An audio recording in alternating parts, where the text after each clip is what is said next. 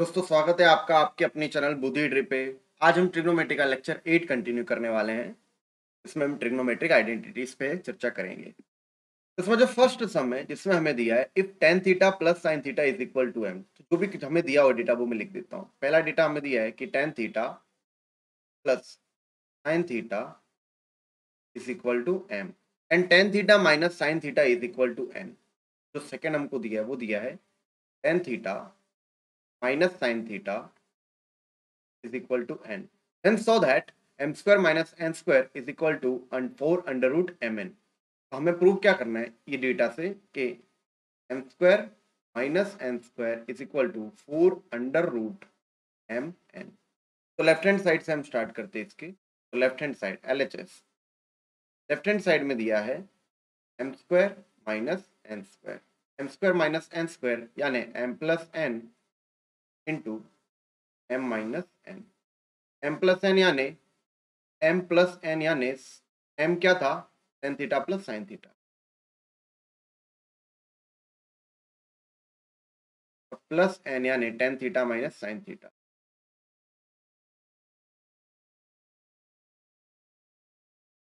into M minus N M क्या है? Tan theta plus sine theta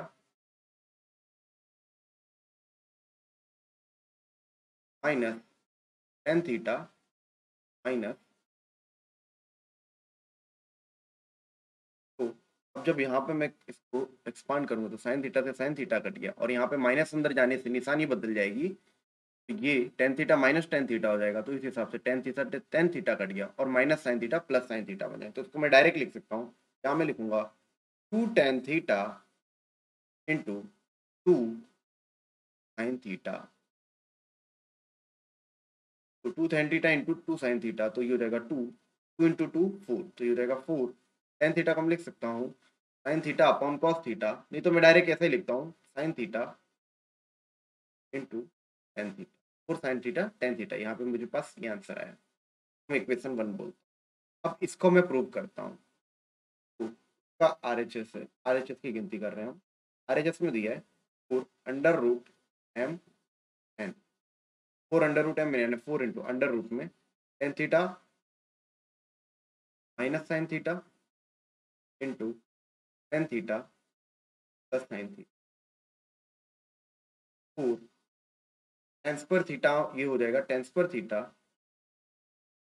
minus sine square हो जाएगा।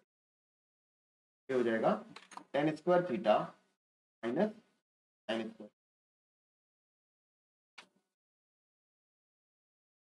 tan square theta को मैं लिख सकता हूँ sine square theta four into tan square theta को मैं लिख सकता हूँ sine square theta upon cos square theta minus sine square theta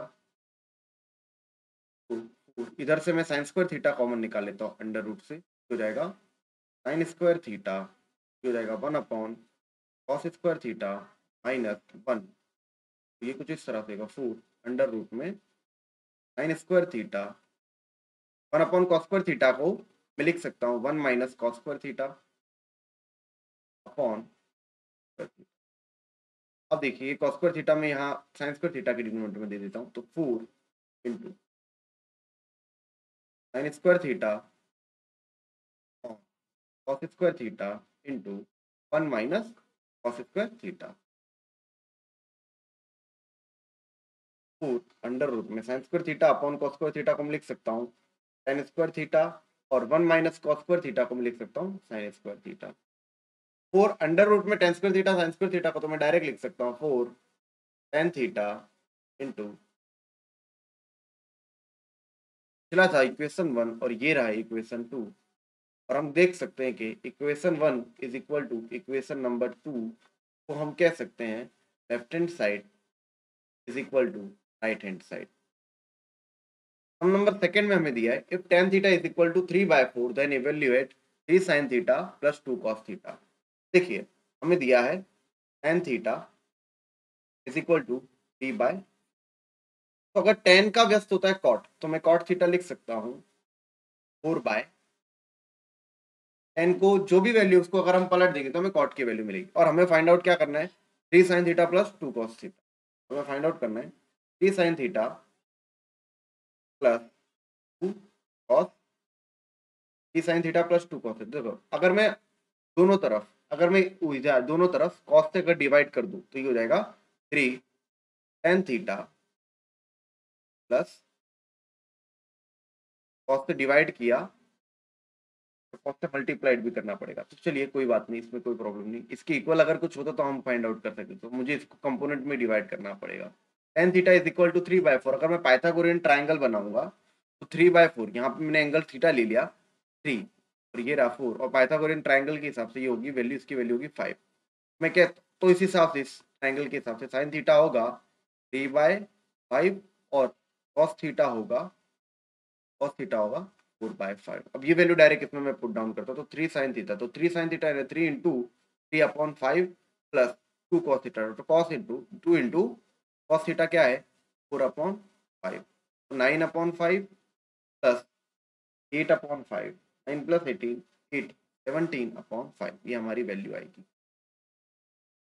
अब हमें ये आइडेंटिटी प्रूव करनी है कि cosec square theta upon one my cosec theta minus one minus cosec square theta upon cosec theta plus one is equal to two sec square theta left hand side से हम start करते हैं। इसमें दिया है cosec square theta upon cosec theta minus one minus cosec square theta upon cosec theta plus देखिए numerator में से कॉसेक स्क्वायर थीटा कॉमन निकल आएगा। तो cosec square theta one upon cosec theta minus one minus one upon cosec theta cosec square theta one upon cosec theta minus one और यहाँ पे one upon cosec theta plus one तो LCM लेंगे तो यहाँ पे तो कॉसेक स्क्वायर थीटा वैसे का वैसा हो जाएगा। Cosec theta plus one minus में हो जाएगा cosec theta minus 1 on cosec theta minus 1 into cosec theta plus देखिए ये हो जाएगा cosec square theta cosec theta plus one into cosec theta minus इन माइनस तो देखिए अगर निशानी अंदर जाएगी, cosec theta minus one plus one minus ये जाएगा तो cosec theta minus cosec theta जाएगा और ये जाएगा plus one cosec theta minus one into cosec theta plus one तो हो जाएगा cosec square theta minus minus cosec theta plus cosec theta गया. और cosec square cosec square theta हमने देख लिया था, cosec square theta minus sec square theta cosec square theta minus cot square theta equal to one हमने ये सीखा था।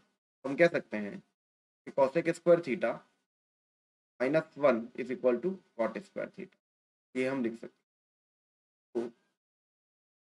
कॉसेक स्क्वायर थीटा ये इधर हो जाएगा। Two upon cosec square theta minus one को तो हम कॉट स्क्वायर थीटा लिख सकते हैं। अब अगर हम सबको मेन कंपोनेंट में डिवाइड करें कॉसेक कॉसेक स्क्वायर थीटा को मैं one upon sine square theta into two cot square theta को हम लिख सकता हूँ cos square theta upon sine square theta और साइन स्क्वायर थीटा अप आ जाएगा यानी one upon sine square theta हो जाएगा साइन स्क्वायर थीटा से साइन स्क्वायर थीटा कट गया तो यहाँ पे बचा two upon cos square theta two upon cos square theta यानी two one upon cos square theta होता है sec square theta two sec square theta ये हमारा हम कह सकते हैं left hand side is equal to right hand side यहाँ पे लिख देता left hand side equal to right hand side अब फोर्थ सम में हमें प्रूव करना है कि one plus tan square theta into one plus sine theta into one minus sine theta is equal to one तो चलिए लेफ़्ट हैंड साइड से हम स्टार्ट करते हैं। One plus tan square theta into one plus sine theta into one minus sine theta one plus sine theta into one minus sine theta A plus B minus B के हिसाब से होगा। One minus sine square theta. तो one minus sine square theta हम जानते वो होता है कॉस स्क्वायर थीटा। उसकी जगह मैं कॉस स्क्वायर थीटा डायरेक्ट लिख देता हूँ। One plus tan square theta into one minus tan square theta. देखिए, one plus sec square theta minus tan square theta is equal to one तो one plus tan square theta यानी sec square theta. तो यहाँ पे मैं direct लिख देता हूँ सेक स्क्वायर थीटा और या one minus sine square theta की जगह मैं डायरेक्ट लिख दूँगा कॉस स्क्वायर।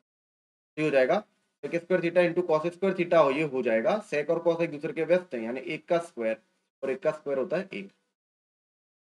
चलिए अब फिफ्थ सम फिफ्थ सम में हमें प्रूव करना है कि four A minus sec square is equal to tan four A plus tan square A देखिए लेफ़्ट हैंड साइड से स्टार्ट करते हैं।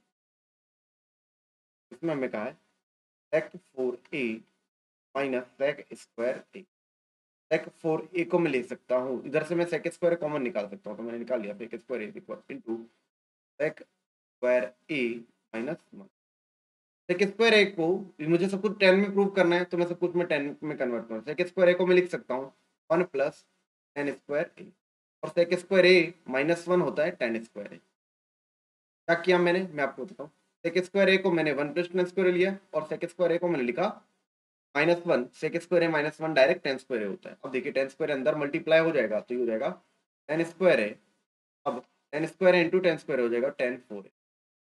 तो ये हमारा आंसर आ गया, tan four A plus tan square. ये हमारा राइट हैंड साइड है। We can say that left hand side is equal to right hand दोस्तों थैंक्स आज का सेशन देखने के लिए।